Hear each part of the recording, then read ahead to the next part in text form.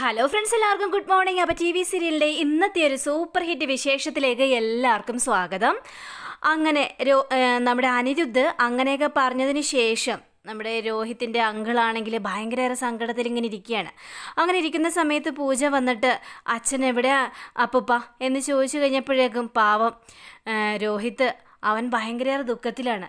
ഈ ഒരു വാക്ക് കേട്ട് കഴിഞ്ഞപ്പോഴേക്കും അവൻ സങ്കടം സഹിക്കാനാവാതെ ഉള്ളിലേക്ക് കയറി പോവുകയാണ് ചെയ്തത്. അയ്യോ എന്റെ അച്ഛൻ പാവമല്ലേ അപ്പുപ്പ. അച്ഛൻ എന്തുമാത്രം ആഗ്രഹിച്ചതാണ്? ഞാൻ എന്റെ എന്റെ അച്ഛനെ ഞാൻ ഇനി എങ്ങനെ സമാധാനിപ്പിക്കും? അപ്പുപ്പ ഏതായാലും നമുക്ക് ഇന്ന് തന്നെ ശ്രീനിലയത്തിലേക്ക് പോകണം ശ്രീനിലയത്തിലേക്ക് പോകാൻ വേണ്ടിയല്ലേ അപ്പം വന്നത്? അതുകൊണ്ട് നമുക്ക് അങ്ങോട്ട് പോയേ മതിയാവുള്ളൂ. ഇത് കേട്ട് കഴിഞ്ഞപ്പോഴേക്കും ഈ രോഹിതിന്റെ അങ്കിളാണെങ്കിൽ വേണ്ട മോളെ. അത് ശരിയാവില്ല. കാരണം നമ്മളിപ്പോൾ ശ്രീനിലയത്തിലേക്ക് പോയാൽ ശരിയാവില്ല. കാരണം സുമിത്രയുടെ മൂത്ത മകൻ വന്ന് ഇങ്ങനെ ഒരു കാര്യം പറഞ്ഞ സ്ഥിതിക്ക് നമ്മളത് ചിന്തിക്കേണ്ടതുണ്ട്. അല്ലെങ്കിൽ അവിടെ ചെന്ന് വീണ്ടും നമ്മൾ കാര്യങ്ങളെല്ലാം സംസാരിച്ചു കഴിഞ്ഞിട്ടുണ്ടെങ്കിൽ അതാകെ വഷളായി മാറും. അതുകൊണ്ട് നമുക്ക് ഏതായാലും പോകണ്ട. അന്റുതേട്ടന് എന്തുകൊണ്ടാണ് അങ്ങനെ പറഞ്ഞതെന്ന് നമുക്ക് അറിയണ്ടേ അച്ഛന്റെ സങ്കടം കാണുമ്പോൾ എനിക്കത് സഹിക്കാനായിട്ട് പറ്റുന്നില്ല. എത്രമാത്രം ആഗ്രഹിച്ചതാണെന്ന് അറിയാമോ എന്റെ അച്ഛൻ അച്ഛനെ അച്ഛന്റെ മുഖത്ത് നോക്കിയല്ലേ എന്റെ തേട്ടൻ അങ്ങനെയെല്ലാം പറഞ്ഞത്? ആ അതെ.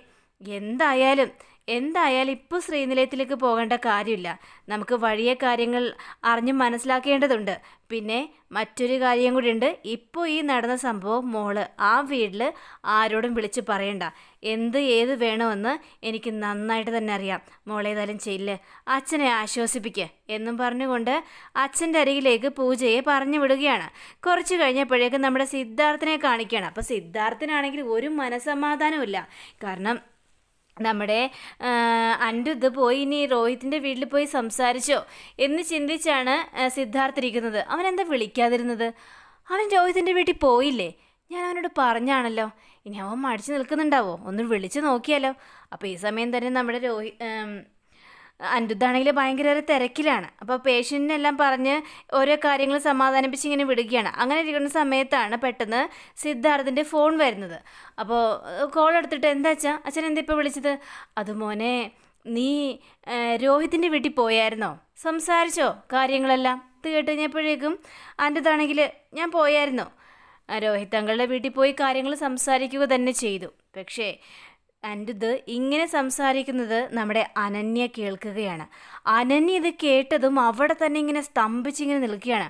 എന്നിട്ട് രോഹിത് എന്ത് പറഞ്ഞു മോനെ? അച്ഛാ അത് പിന്നെ ഞാൻ അവിടെ ചെന്ന് കഴിഞ്ഞപ്പോഴേക്കും അവരും മൂന്ന് പേരും കൂടി അതായത് രോഹിത്തിന്റെ ആ അങ്കിളും രോഹിത് അങ്കിളുടെ അങ്കിളും ഉണ്ടായിരുന്നു അവിടെ കൂടെ. ആ അങ്കിളും എല്ലാവരും കൂടി നമ്മുടെ വീട്ടിലേക്ക് വരാനിരിക്കുമായിരുന്നു ഞാനവിടെ കറക്റ്റ് സമയത്താണ് ചെന്നത്. അവരോട് കാര്യങ്ങളെല്ലാം അവതരിപ്പിച്ചു. ഈ കല്യാണം നടക്കില്ല എന്ന് നീ പറഞ്ഞായിരുന്നു മോനെ? ആ ഞാൻ അങ്ങനെ തന്നെയാണ് പറഞ്ഞച്ചാ ഈ കല്യാണം നടക്കില്ല എന്ന് ഞാൻ ഉറപ്പിച്ച് തന്നെ പറഞ്ഞു. എന്നിട്ട് രോഹിത്തിന്റെ നിലപാട് എന്തായിരുന്നു? ആ അങ്കിളൊന്നും പറഞ്ഞൊന്നുമില്ല. അങ്കിൾ ഞാനിത് പറഞ്ഞു കഴിഞ്ഞപ്പോഴേക്കും ആകെ ഷോക്ക് അടിച്ചൊരവസ്ഥയിലാണ്. അങ്കിളുടെ മുഖത്ത് വല്ലാത്തൊരു നിരാശയുണ്ട്. പിന്നെ ആ മറ്റേ അങ്കിളും രോഹിത് അങ്കിളുടെ അങ്കിളില്ലേ? ആ അങ്കിളിനും വല്ലാത്തൊരു സങ്കടമൊക്കെ തോന്നി. വല്ലാത്തൊരു നിരാശ ഭാഗം. പക്ഷേ എന്നാലും പറയേണ്ട കാര്യങ്ങളെല്ലാം പറയണ്ടേ അച്ഛാ? ഞാനതുകൊണ്ട് മുഖത്തടിച്ചതുപോലെ എല്ലാം പറഞ്ഞു.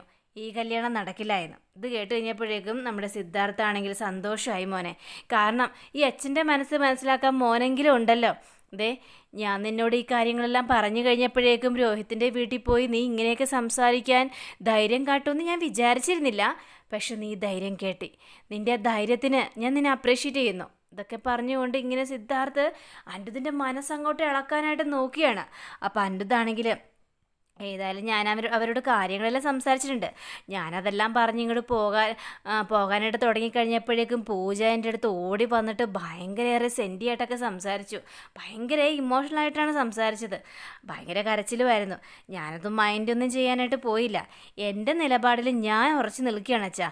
നല്ല കാര്യം മോനെ നിന്റെ നിലപാടിൽ തന്നെ നീ ഉറച്ചു നിൽക്കണം. ഇനി ഏതായാലും ഈ കല്യാണം നടക്കാൻ സാധ്യത കുറവാണല്ലേ? ഈ കല്യാണം മുടങ്ങുമല്ലേ ആ ഞാനേതായാലും പറഞ്ഞു നോക്കിയിട്ടുണ്ട്. ഇനി എന്താവും ഏതാവും എന്ന് എനിക്കറിയില്ല അച്ഛാ. ഏതായാലും സന്തോഷമായി. എന്നും പറഞ്ഞുകൊണ്ട് അവിടെ ഫോൺ വെക്കുകയാണ്. അപ്പം ഈ സിദ്ധാർത്ഥ മനസ്സിലിങ്ങനെ ചിരിച്ചുകൊണ്ട് അപ്പം ഈ കല്യാണം മുടങ്ങും. ഞാൻ വിചാരിച്ചതുപോലെ തന്നെ രോഹിത്തും സുമിത്രയുമായിട്ടുള്ള കല്യാണം നടക്കില്ല. അപ്പോൾ എന്റെ മനസ്സിലെ ആഗ്രഹങ്ങൾ നടക്കാനായിട്ട് പോവുകയാണ്. എന്ന് ചിന്തിച്ച് അതിമോഹത്തോടു കൂടി തന്നെ നിൽക്കുകയാണ് സിദ്ധാർത്ഥ്. അങ്ങനെ അനു നേരെ അൻഡുദിന്റെ അടുത്തേക്ക് ഓടി വന്നിട്ട് അൻഡുദേ നീ എന്താ പറഞ്ഞത്? നീ ഇപ്പോൾ സിദ്ധു അങ്കളോട് സംസാരിക്കുന്ന മുഴുവനും ഞാൻ കേട്ടു. നീ എന്തിനാ രോഹിത് അങ്കളുടെ വീട്ടിൽ പോയി അങ്ങനെയെല്ലാം പറഞ്ഞത്? അങ്ങനെയെല്ലാം പറഞ്ഞത് വളരെ മോശമായി പോയി. എന്ത് മോശം? ഒരു മോശമില്ല എന്റെ നിലപാടാണ് ഞാൻ അവരുടെ മുന്നിൽ പറഞ്ഞത്. അതിനെന്താ അനു ഇത്ര മോശമായി പോകുന്നത്? ഷേ നീ എന്താ എന്റെ ഇത് ഇങ്ങനെയല്ല സംസാരിക്കുന്നത്? ദേ അച്ചാസിനെടുത്ത തീരുമാനമല്ലേ?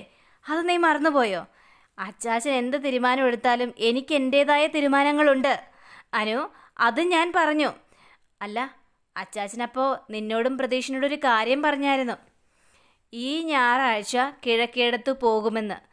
അത് ആരെതിർത്താലും പോകുമെന്നാ പറഞ്ഞത്. അങ്ങനെയൊന്നും അച്ചാച്ചൻ പറഞ്ഞിട്ടില്ല. എന്നോട് ഇന്ന് അഭിപ്രായം പറയണമെന്നാണ് പറഞ്ഞത്. എന്നിട്ട് നീ എന്ത് അഭിപ്രായം പറയാനായിട്ട് പോകുന്നത്? ഞാൻ പറഞ്ഞല്ലോ. എനിക്കിതിനോട് യോജിക്കാനായിട്ട് കഴിയില്ലാനോ എന്നിങ്ങനെ അന്റതും സംസാരിച്ച് കഴിഞ്ഞപ്പോഴേക്കും അന്റതേ നിന്റെ ഈ മാറ്റം എനിക്ക് എന്താണെന്നൊക്കെ നന്നായിട്ട് അറിയാം പക്ഷേ ദേ നമ്മുടെ കുടുംബത്തിലെ മുതിർന്ന ഒരാളാണ് അച്ചാച്ചൻ. അച്ചാച്ചൻ പറയുന്നതാണ് നമ്മൾ അനുസരിക്കേണ്ടത്. അച്ചാച്ചനെ നമ്മൾ ധിക്കരിക്കാനായിട്ട് പാടില്ല. അന്റുദേ അത് നീ മനസ്സിലാക്കണം. എന്ത് എന്ത് മനസ്സിലാക്കണമെന്നാണ് നീ പറയുന്നത്? ഇതേ എന്റെ അമ്മയുടെ മൂത്ത മകനാണ് ഞാൻ. അപ്പോൾ ഞാൻ പറയുന്നത് അവിടെ കേട്ടേ മതിയാവുള്ളൂ. എനിക്ക് ഈ കാര്യത്തിൽ നിലപാടെടുക്കാനുള്ള അധികാരവും അവകാശവും പറയാനുള്ള എല്ലാ ഇതും എനിക്കുണ്ട്. അപ്പോൾ പിന്നെ ഞാൻ പറഞ്ഞാൽ എന്താ കുഴപ്പം? എനിക്ക് ഇതിനോട് യോജിക്കാനായിട്ട് പറ്റില്ലനു ഇതിൽ ഞാൻ ഉറച്ചു നിൽക്കുന്നു. ദേ നീ ഇതെങ്ങോട്ടാ പോകുന്നതെന്ന് എനിക്കറിയില്ല. അനു നീ കൂടുതൽ പറഞ്ഞ് പറഞ്ഞ് വഷളാക്കാനായിട്ട് നിൽക്കണ്ട. ഞാൻ ഈ പറഞ്ഞ കാര്യമൊന്നും നീ വീട്ടിൽ ചെന്ന് ആരോടും പറയാനായിട്ട് നിൽക്കണ്ട. ഏതായാലും രോഹിത് അങ്കിനോ അങ്കിളിനോട് ഞാൻ കാര്യങ്ങളെല്ലാം പറഞ്ഞിട്ടുണ്ട്. രോഹിത് അങ്കിൾ നിരാശനായിട്ടിരിക്കുന്നത് അതൊന്നും എന്റെ വിഷയമല്ല. പക്ഷേ ഈ കല്യാണം നടക്കാനായിട്ട് പോകുന്നില്ല. അന്റെത് ഞാനായിട്ട് ഏതായാലും ഈ കാര്യം ആരോടും തുറന്നു പറയാനായിട്ട് പോകുന്നില്ല. പക്ഷേ ഏതെങ്കിലും വഴിയായിട്ട് അവർ ഈ സത്യങ്ങളെല്ലാം അറിയും. അവർ ഈ സത്യങ്ങളെല്ലാം അറിഞ്ഞു കഴിഞ്ഞാൽ പിന്നെ നിനക്ക് തല ഉയർത്തിപ്പിടിച്ച് നടക്കാനായിട്ട് സാധിക്കില്ല.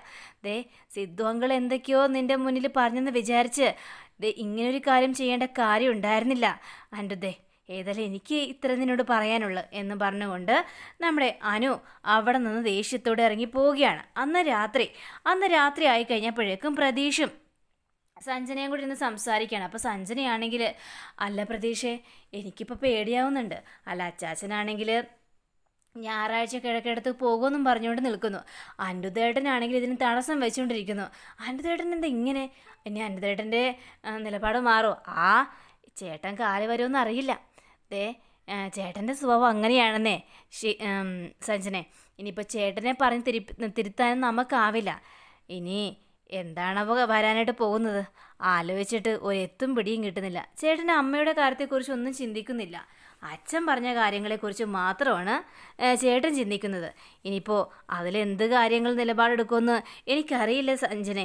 എന്നൊക്കെ പറഞ്ഞുകൊണ്ട് ഇങ്ങനെ കാര്യങ്ങളെല്ലാം പറയുകയാണ്. പാവ സുമിത്രാന്റെ ആന്റിക്കും സന്തോഷമൊന്നുമില്ല കേട്ടോ കാരണം ഈ കാര്യം അറിഞ്ഞപ്പോൾ മുതൽ ആന്റിയുടെ മുഖത്ത് വല്ലാത്തൊരു നിരാശയാണ് ഞാൻ കണ്ടത്. അതെന്തുകൊണ്ടാന്ന് എനിക്ക് മനസ്സിലാവുന്നില്ല പ്രതീക്ഷയെ എന്തായാലും നമുക്കത് വഴിയെ മനസ്സിലാവും. നീ ഏതായാലും അകത്തേക്ക് കയറി പൊയ്ക്കോ എന്ന് പറഞ്ഞുകൊണ്ട് സഞ്ജനയെ അകത്തേക്ക് കയറ്റി വിടുകയാണ്. അങ്ങനെ പ്രതീഷ് ഈ കാര്യങ്ങളെക്കുറിച്ച് മുഴുവൻ ഇങ്ങനെ ചിന്തിച്ചുകൊണ്ടിരിക്കുമ്പോഴാണ് നമ്മുടെ ശ്രീ അങ്ങോട്ട് വരുന്നത്. അപ്പോൾ ശ്രീക്കും ആകെ അരിശം വന്നിട്ട് ഇങ്ങനെ വരികയാണ്. എന്തെങ്കിലും ഈ സമയത്ത്? അതെ അനിരുദ്ധ എവിടെ അത് ഏട്ടനകത്തുണ്ട്. ഏട്ടൻ കുളിക്കുകയാണെന്ന് തോന്നുന്നു. ഓ അവൻ അകത്തുണ്ടല്ലേ? എന്താ എന്താ പ്രശ്നം?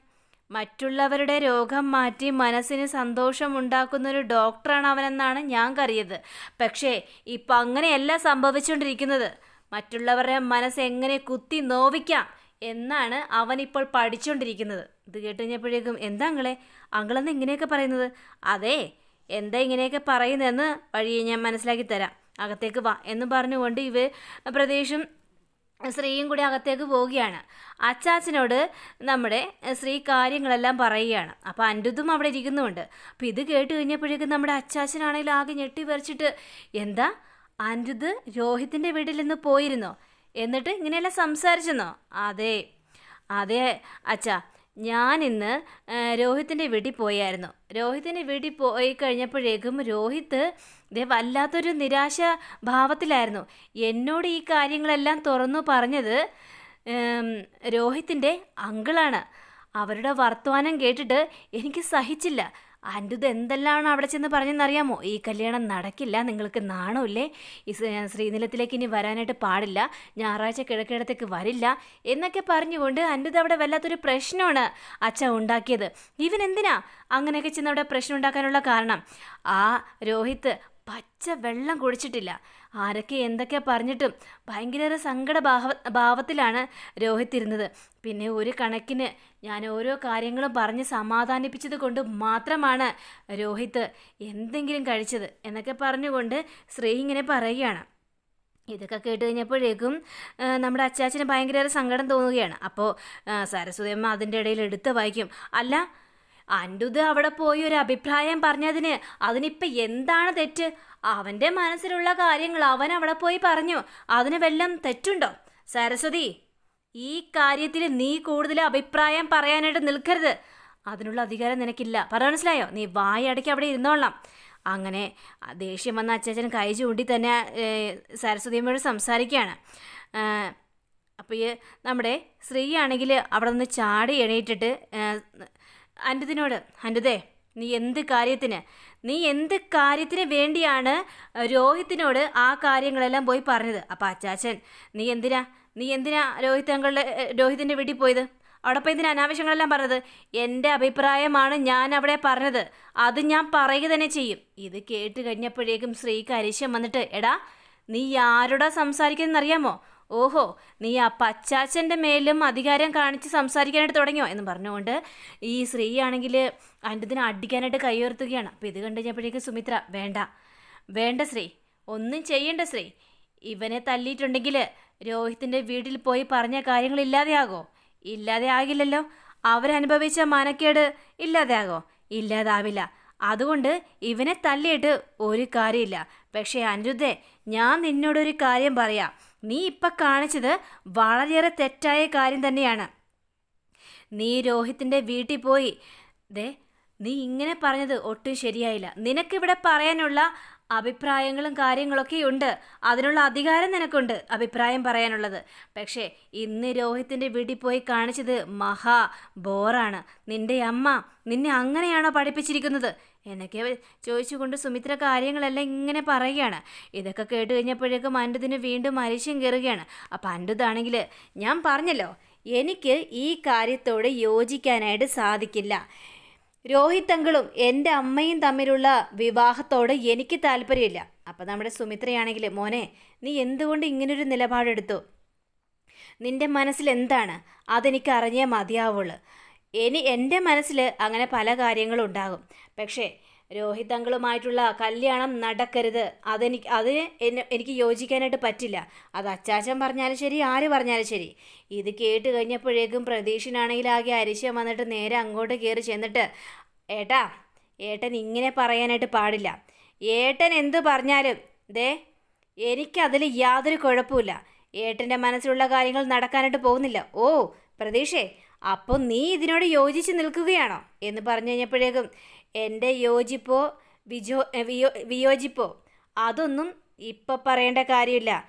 ഞാൻ രണ്ടിലൊന്ന് പറഞ്ഞു കഴിഞ്ഞിട്ടുണ്ടെങ്കിൽ എന്നെ അത് പറയിപ്പിക്കാനായിട്ട് നിൽക്കരുത് ഏട്ടാ എന്നും പറയുകയാണ്.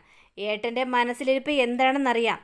അച്ഛനും അമ്മയും തമ്മിലുള്ള കല്യാണം നടക്കണം. ഇതാണ് ഏട്ടന്റെ ആഗ്രഹം. ഇത് കേട്ട് കഴിഞ്ഞപ്പോഴേക്ക് സുമിത്ര ആകെ ഞെട്ടി വരച്ച് നിൽക്കുകയാണ്. പക്ഷേ അമ്മയുടെ നിലപാട് എന്താണെന്ന് ഏട്ടൻ വിചാരിച്ചിട്ടുണ്ടോ? ഇല്ലല്ലോ.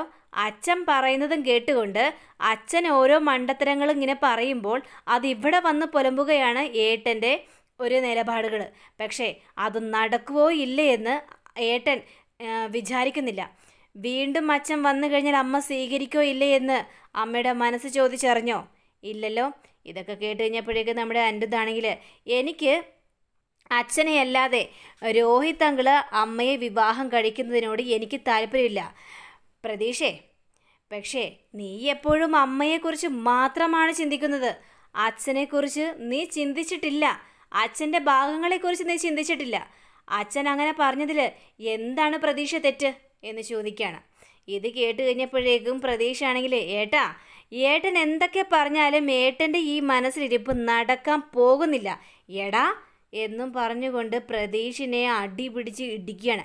കഴുത്തിനൊക്കെ കയറി കുത്തി പിടിക്കുകയാണ് മോന്തം നോക്കിയിട്ട് നല്ല അടി കൊടുക്കുകയാണ്.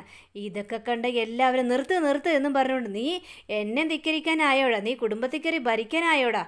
എന്നൊക്കെ പറഞ്ഞുകൊണ്ട് ഇങ്ങനെ ഓരോ കാര്യങ്ങളിങ്ങനെ അടിച്ചും പിടിച്ചൊക്കെ സംസാരിക്കണ്ടെങ്കിൽ സുമിത്ര നിർത്ത് നിർത്താനാ പറഞ്ഞത്. നിങ്ങൾ എന്തിനാണ് ഇങ്ങനെ തല്ലുകൂടിക്കൊണ്ടിരിക്കുന്നത്? ഇതാണോ ഇതാണോ ഇവിടുത്തെ നിലപാട്? അച്ഛാ കണ്ടില്ലേ? ഇപ്പം കണ്ടില്ലേ കാര്യങ്ങളെല്ലാം? ഞാൻ ഈ കാര്യത്തിൽ നിന്നും നിങ്ങൾ കല്യാണാലോചനയൊക്കെ കൊണ്ടുവരാൻ നേരത്തിൽ നിന്ന് പിന്മാറിയതിന്റെ കാരണം ഇത് തന്നെയാണ്. ഈ വീട്ടിൽ ഇങ്ങനൊരു സംഘർഷം ഉണ്ടാകുമെന്ന് എനിക്ക് നന്നായിട്ട് തന്നെ അറിയാം. അതുകൊണ്ടാണ് ഞാനിതിൽ നിന്നൊക്കെ പിന്മാറിയത്. ഞാൻ ഒറ്റയ്ക്ക് എന്നെ എല്ലാവരും ഉപേക്ഷിച്ചു പോയി. ഞാൻ ഒറ്റയ്ക്ക് സമാധാനത്തോടെ എന്റെ സ്വന്തം കാര്യം നോക്കി ജീവിക്കാനുള്ള കാരണവും ഇതുകൊണ്ട് തന്നെയാണ്. ഇപ്പോൾ അച്ഛന് കാര്യങ്ങളെല്ലാം മനസ്സിലായില്ല അച്ഛ? എന്നിട്ടും ദേ എന്തിന് എന്തിനാ അച്ഛാ എന്നിങ്ങനെ കിടന്ന് വേദനിപ്പിക്കുന്നത്? അപ്പോൾ അച്ചാച്ചന്റെ മനസ്സിന് ആകെ വല്ലാത്തൊരു ബുദ്ധിമുട്ടൊക്കെ തോന്നുകയാണ്. നിങ്ങൾ ഓരോ കാര്യങ്ങളും എന്റെ അടുത്ത് പറഞ്ഞുകൊണ്ട് വരാൻ നേരത്ത് ദേ ഇങ്ങനൊരു കാര്യം ഉണ്ടാകുമെന്ന് എനിക്ക് നന്നായിട്ട് തന്നെ അറിയാം. ഇപ്പോൾ അതുണ്ടായില്ലേ? ഇത് ഒഴിവാക്കാൻ വേണ്ടി തന്നെയാണ് ഞാൻ തീരുമാനിച്ചത്. ഇപ്പോൾ എല്ലാവർക്കും സമാധാനമായില്ലേ എന്നും പറഞ്ഞുകൊണ്ട് സുമിത്ര അവിടെ നിന്ന് പോവുകയാണ്. അപ്പോൾ സുമിത്രയുടെ ഓരോ വാക്കുകളും കേട്ട് കഴിഞ്ഞപ്പോഴേക്കും അച്ചാച്ചന് വല്ലാത്ത ബുദ്ധിമുട്ട്. പ്രതീക്ഷ മന്റെ ബാക്കിയുള്ള എല്ലാവരും അവിടെ നിന്ന് പോവുകയാണ്. അച്ചാച്ചൻ ആകെ തളർന്നൊരവസ്ഥയിൽ അവിടെ ഇരിക്കുമ്പോൾ സരസ്വതി അമ്മയാണെങ്കിൽ ഇത്രയൊക്കെ ഇവിടെ നടന്നു. അതുകൊണ്ട് നിങ്ങളോടൊരു കാര്യം ചോദിക്കട്ടെ മനുഷ്യ? ഈ കല്യാണം നടക്കോ? സുമിത്രയും രോഹിത്തും തമ്മിലുള്ള വിവാഹം നടക്കുമോന്ന് അതാണ് എനിക്ക് നിങ്ങളോട് ചോദിക്കാനുള്ളത്. അപ്പോൾ സരസ്വതി അമ്മയുടെ ഈ വാക്കിന് മുന്നിൽ ഒന്നും പറയാൻ പറ്റാത്തൊരവസ്ഥയിൽ നിൽക്കുകയാണ് നമ്മുടെ അച്ചാച്ചൻ. പിന്നീട് അന്റത് ഇങ്ങനെ ഒറ്റയ്ക്കിരുന്ന ഓരോ കാര്യങ്ങൾ ചിന്തിക്കുമ്പോൾ നമ്മുടെ അനന്യ ഓടി വന്നിട്ട് അന്റതേ നീ എന്നാലും അച്ചാച്ചന്റെ മുന്നിൽ വെച്ച് എന്തൊക്കെയാ പറഞ്ഞത്? അങ്ങനെയൊക്കെ പറയാൻ പാടുണ്ടോ? അച്ചാച്ചൻ എത്രമാത്രം സങ്കടമായെന്നറിയാവോ? ഓ അച്ചാച്ചന്റെ സങ്കടം. അതുമാത്രമാണ് ഇവിടെ പ്രാധാന്യം. ഞാൻ പറയുന്നതിനോട് ആരും യോജിക്കുന്നില്ല. എടാ നീ എന്തൊക്കെയാണ് ഈ പറയുന്നത്? അങ്ങനെ സിദ്ധു അങ്കളും സുമിത്രാന്റിയും തമ്മിലുള്ള വിവാഹം നടക്കുമെന്ന് എനിക്ക് തോന്നുന്നുണ്ടോ? സുമിത്രാന്റി അതിനെ സമ്മതിക്കുമെന്ന് തോന്നുന്നുണ്ടോ? സമ്മതിച്ചില്ലെങ്കിൽ വേഷ വേണ്ട. പക്ഷേ ഞാൻ ആഗ്രഹിക്കുന്നതുകൊണ്ട് എന്റെ എന്താ തെറ്റ്? എന്റെ അച്ഛൻ ആഗ്രഹിക്കുന്നത് കൊണ്ട് എന്താ തെറ്റ്? പ്രതീക്ഷ കണ്ടില്ലേ? ഇതിനോട് യോജിക്കാതെ നിൽക്കുകയാണ്. അച്ഛൻ പറയുന്നു എന്റെ പഴയ കുടുംബജീവിതം എനിക്ക് വേണമെന്ന്. അതിൽ എന്താണ് അനു തെറ്റ്? ഞാനും അത് ആഗ്രഹിക്കുന്നു. എന്റെ അച്ഛനും എന്റെ അനിയന്മാരും അമ്മയും എല്ലാവരും കൂടി ചേർന്ന് നല്ല പഴയതുപോലെ നല്ല സന്തോഷകരമായ കുടുംബജീവിതം വേണമെന്ന്. അത് ആഗ്രഹിച്ചിൽ എന്താ തെറ്റ്? ഇതൊക്കെ കേട്ട് കഴിഞ്ഞപ്പോഴേക്ക് മനു ആണെങ്കിൽ ആകെ അരിശപ്പെട്ട് നിൽക്കുകയാണ്. അപ്പോഴാണ് നമ്മുടെ സ്ത്രീ അങ്ങോട്ട് വരുന്നത്. അപ്പോൾ സ്ത്രീ ആണെങ്കിൽ എടാ നീ പറഞ്ഞത് മുഴുവനും ശരിയാണെന്ന് നിനക്ക് തോന്നുന്നുണ്ടോ? എന്താങ്കളെ ഞാൻ പറഞ്ഞതിൽ എന്താ തെറ്റ്? അല്ല നിന്റെ അച്ഛൻ നിന്നെ നന്നായിട്ട് ബ്രെയിൻ വാഷ് ചെയ്തിട്ടുണ്ട്. അതുകൊണ്ടാണ് നീ ഇങ്ങനെ വന്ന് ഇപ്പോൾ ഈ കാര്യങ്ങളെല്ലാം ഇവിടെ സംസാരിച്ചിരിക്കുന്നത്. പക്ഷേ അത് മഹാബോറാണ് ബോറാണ് അന്റുതേ നിന്റെ അമ്മയുടെ നിലപാട് നീ ചിന്തിച്ചിട്ടുണ്ടോ? അപ്പോൾ വീണ്ടും അച്ഛനെക്കുറിച്ചുള്ള കാര്യങ്ങളെല്ലാം പറയുകയാണ് എന്റെ ഇത് നിന്റെ അച്ഛനാണ് നിന്റെ അമ്മയെ ഉപേക്ഷിച്ചിട്ട് പോയത്. അപ്പോൾ നിന്റെ അമ്മയുടെ മാനസികാവസ്ഥ നീ മനസ്സിലാക്കിയില്ലല്ലോ? ഇപ്പം അച്ഛന് ഒരേ കാര്യങ്ങൾ വന്ന് പറഞ്ഞു കഴിഞ്ഞപ്പോഴേക്കും അത് നമ്മൾ അനുകൂലിച്ച് നിൽക്കണമെന്നാണ് പക്ഷേ ഇത് നടക്കാൻ പോകുന്നില്ല എന്റെ ഉദ്ദേ ഇതിനെക്കുറിച്ച് ആലോചിച്ച് നീ കൂടുതൽ ദുഃഖിക്കേണ്ടി വരും. എന്നെങ്കിലും പറഞ്ഞുകൊണ്ട് നമ്മുടെ സ്ത്രീ അവിടെ നിന്ന് പോയി കഴിഞ്ഞപ്പോഴേക്കും അന്റത് വല്ലാത്തൊരു മാനസികാവസ്ഥയിൽ തന്നെ ഇങ്ങനെ നിൽക്കുകയാണ്. അങ്ങനെയും കാണിച്ചുകൊണ്ടാണ് ഇന്നത്തെ റിവ്യൂടെ അവസാനിച്ചിരിക്കുന്നത്. അടുത്ത റിവിനെ കാത്തിരിക്കുക. സബ്സ്ക്രൈബ് ചെയ്ത് നമസ്കാരം. Thank you see again bye take care